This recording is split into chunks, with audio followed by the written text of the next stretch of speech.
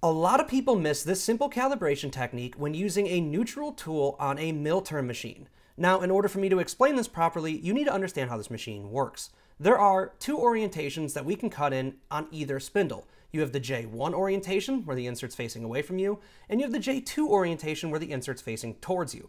Now, if the tool is off center at all, the machine will have to compensate in either positive or negative in X to make sure it's at the right diameter.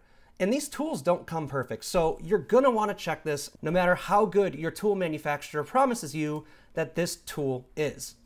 First thing we're gonna do is just rough away a little bit of material. It's my first cuts on the machine, so honestly, I just wanted to see some chips fly. But after that, now is where we're gonna get to measuring. So the first thing we're gonna do is we're gonna take a cut at 2.4 inches in the J1 orientation. Now, it's important to go slow here. You don't want any pressure on the tool. You want to try to take as accurate as a cut as possible. And now we can take our measurements. Now, to my surprise, the first cut actually came out almost perfect.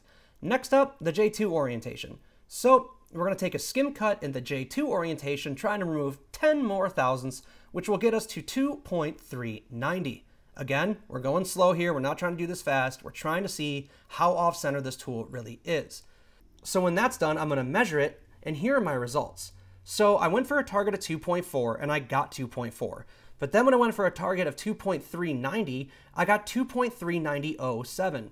So my tool is actually 7 tenths off center. Now I can correct this by putting 3 tenths in my geometry offset and then bringing down my entire tool offset 3 tenths. And I can pretty much guarantee that that tool is going to cut perfectly.